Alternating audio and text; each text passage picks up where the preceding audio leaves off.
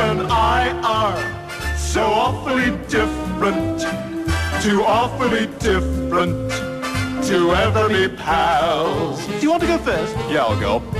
Your favorite hero is the Marquis de Sade. Do you'll want to talk. You get a stiffy from Phylicia Rashad. Oh, one time. I've a style flair. Just look at my hip hair. Oh, yeah, that, that's quite a nice do there. Oh, thanks. For me to poop on? What? Oh, come on, you look like Charlie Brown. Bite me, Snoopy. There's not a whole lot that we've got to agree on. Cause I love the strains of a classical score. And I like that singer who looks like a whore. Ricky Martin? Love him.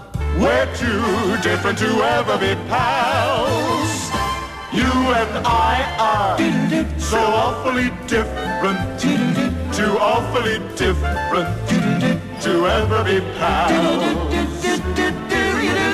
Your head's as massive as a meteorite.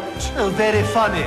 You have a weenie like a Christmas tree light. I'd bet money you'll marry a honey who's pretty and funny, and her name will be Ted.